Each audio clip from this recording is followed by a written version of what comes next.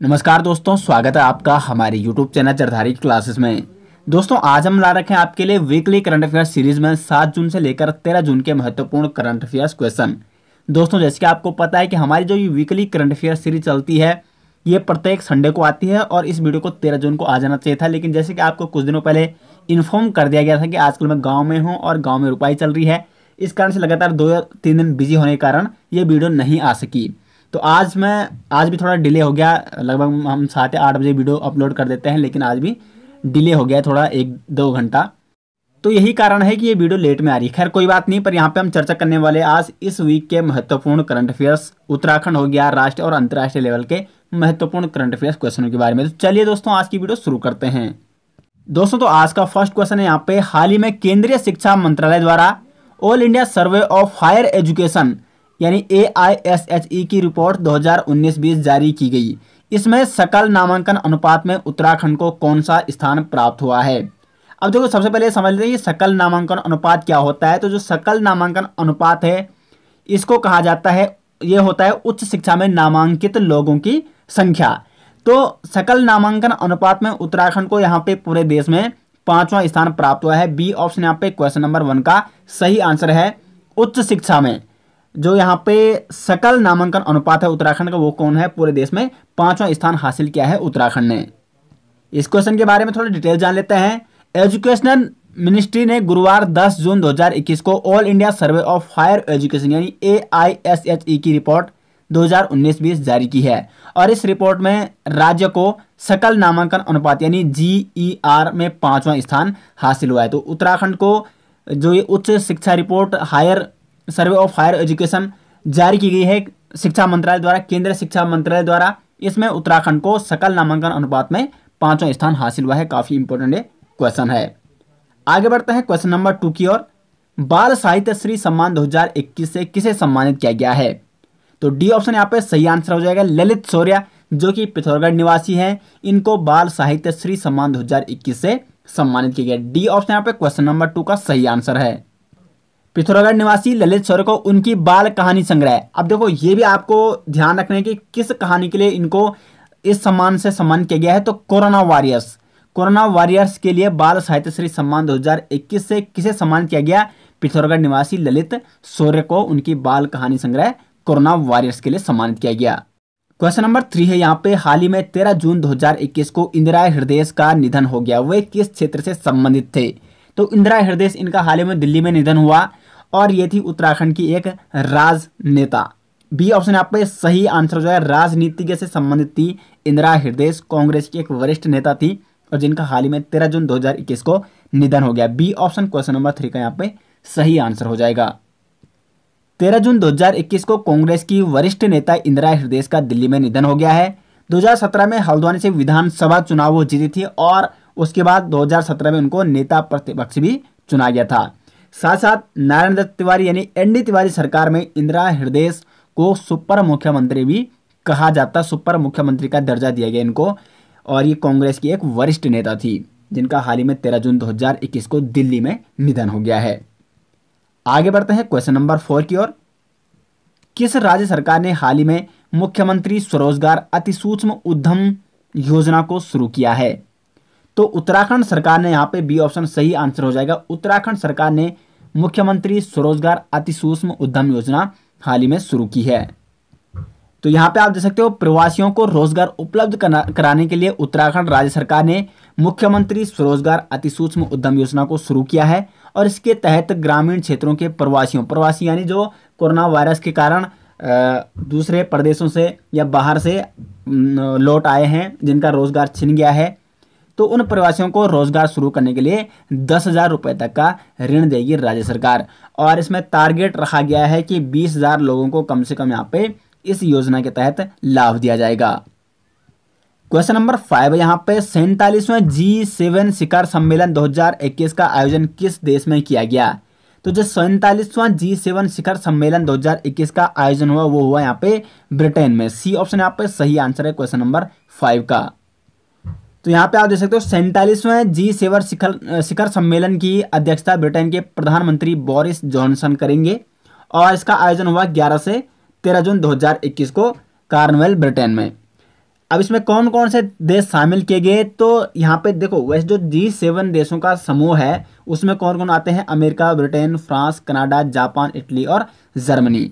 भारत इसमें नहीं आता है, लेकिन इस सैंतालीसवें जी सेवन सेवन शिखर सम्मेलन में जी सेवन जो देश थे, यानी ये देश थे, इनके साथ साथ यहाँ पे भारत, दक्षिण कोरिया और ऑस्ट्रेलिया को अतिथि राष्ट्र के रूप में आमंत्रित किया गया था। तो भारत ने भी इस जी सेवन शिखर सम्मेलन में, जो कि सैंतालीसवां शिखर सम्मेलन था जी सेवन का, इसमें अतिथि रूप में हिस्सा लिया है।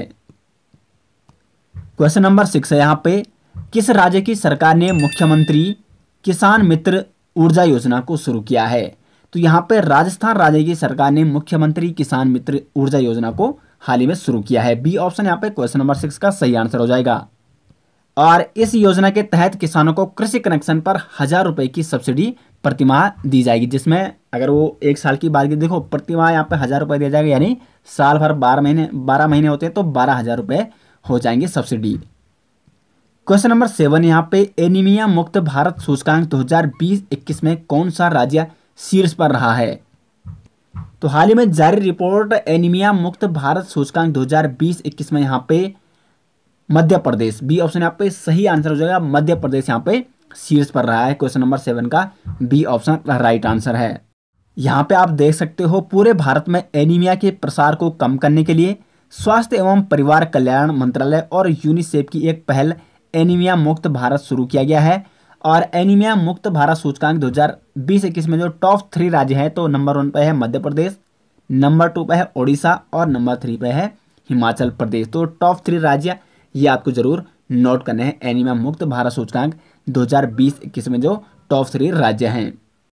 क्वेश्चन नंबर आठ यहाँ पे, कौन सा भारतीय गाँव कोविड नाइन्टीन के खिलाफ अपने सभी वयस्क आबादी का टीकाकरण करने वाला भारत का पहला गाँव बन गया है?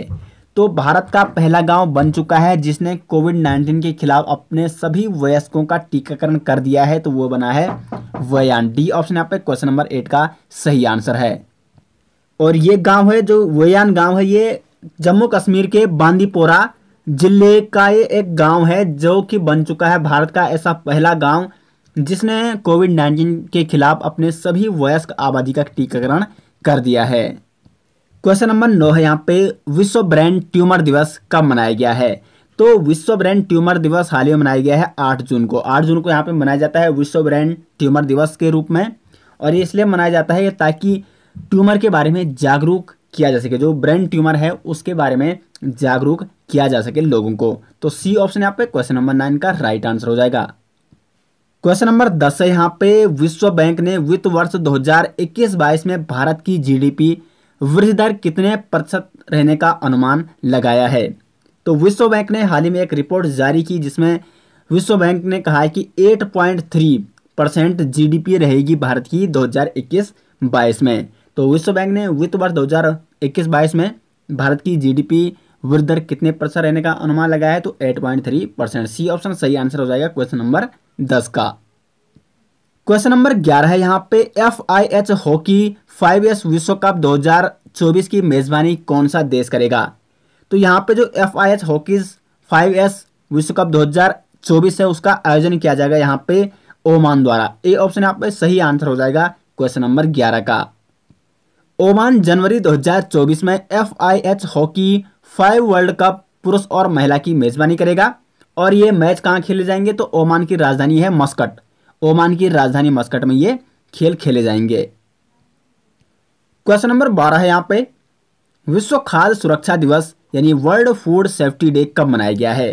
तो सात जून को मनाया गया यहाँ पे विश्व खाद्य सुरक्षा दिवस, यानी वर्ल्ड फ़ूड सेफ्टी डे के रूप में। सी ऑप्शन यहाँ पे सही आंसर हो जाएगा क्वेश्चन नंबर बारह का। विश्व खाद्य सुरक्षा दिवस को मनाने का मुख्य उद्देश्य खाद्य सुरक्षा के प्रति उन लोगों को जागरूक करना है जो खराब भोजन का सेवन करने की वजह से गंभीर रोगों से ग्रस्त हो जाते हैं और साथ साथ खाद्य सुरक्षा और भोजन की महत्ता को समझने के लिए यहाँ पे विश्व खाद्य सुरक्षा दिवस मनाया जाता है। विश्व खाद्य सुरक्षा दिवस 2021 की थीम क्या है? देखो थीम काफ़ी इंपॉर्टेंट होती है, जो भी दिवस होते हैं यहाँ पे तो इसलिए प्रत्येक जो वीकली करंट अफेयर सीरीज़ इसमें जो भी दिवस आते हैं तो उसमें आपको थीम के बारे में ज़रूर बताया जाता है तो थीम का थीम आपको ज़रूर नोट करनी है। तो विश्व खाद्य सुरक्षा दिवस 2021 की थीम है, स्वास्थ्य कल के लिए आज का सुरक्षित भोजन, यानी safe food today for a healthy tomorrow ये इसकी थीम है विश्व खाद्य सुरक्षा दिवस 2021 की थीम जो कि हाल ही में सात जून को मनाया गया है। क्वेश्चन नंबर तेरह है यहाँ पे। किस राज्य की सरकार ने प्राण वायु देवता पेंशन योजना को शुरू किया है? तो यहाँ पे हाल ही में हरियाणा राज्य की सरकार ने प्राण वायु देवता पेंशन योजना शुरू की है, जो कि पर्यावरण से संबंधित है। तो सी ऑप्शन यहाँ पे क्वेश्चन नंबर तेरह का सही आंसर हो जाएगा। विश्व पर्यावरण दिवस के अवसर पर हरियाणा के मुख्यमंत्री मनोहर लाल ने प्रदेश में प्राण वायु देवता पेंशन योजना की शुरुआत की है और इस योजना के तहत प्रदेश में पिछहत्तर साल के ऊपर के वृक्ष के रख रखाव के लिए अब पच्चीस सौ रुपये वार्षिक पेंशन मिलेगी। तो जैसे मैंने अभी आपको बताइए पर्यावरण या वृक्षों से संबंध है ये योजना, जो कि विश्व पर्यावरण दिवस के अवसर पर हरियाणा के मुख्यमंत्री मनोहर लाल खट्टर ने हरियाणा प्रदेश में जारी की है।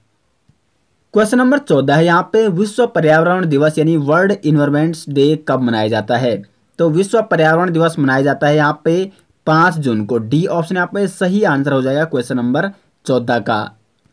विश्व पर्यावरण दिवस मनाने का मुख्य उद्देश्य दुनिया भर में लोगों के बीच पर्यावरण प्रदूषण, जलवायु परिवर्तन और ग्रीन हाउस के प्रभाव global warming black hole effect आदि मुद्दों और इनसे होने वाली विभिन्न समस्याओं के प्रति सामान्य लोगों को जागरूक करना है और पर्यावरण की सुरक्षा के लिए में प्रेरित करना है। तो ये इसका मुख्य उद्देश्य इसलिए विश्व पर्यावरण दिवस मनाया जाता है प्रत्येक वर्ष पाँच जून को।